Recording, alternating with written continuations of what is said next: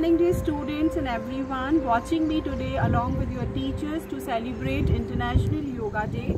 It is celebrated annually on June 21st to spread awareness about the benefits of yoga and meditation worldwide. So join us for the same to stay free and to release your stress. Thank you.